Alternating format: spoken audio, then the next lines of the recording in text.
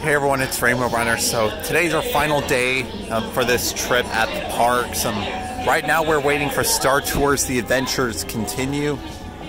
And um, it's kind of interesting um, how they randomize every trip you go on, so it's never the same twice. Or at least consecutive times. And something interesting is that Captain RX-24 from the original Star Tours, which I was able to ride back in the day, um, he is in the queue, like, down there.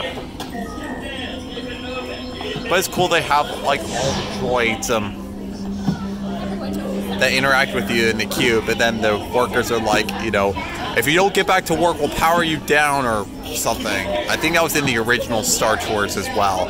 And the front queue, of course, you have R2 and 3PO working on the Star Speeder. This is the Star Speeder 1000. It was the Star Speeder 3000 in the original Star Tours.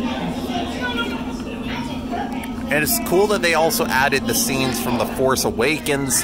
I remember seeing those like on the time when The Force Awakens came out, and then um, and uh, they also added scenes from The Last Jedi as well.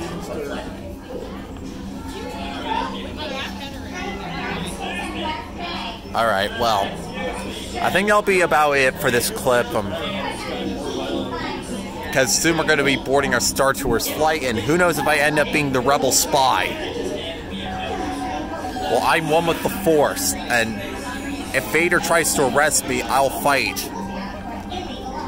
Alright. Alright, that'll be all for now. See ya.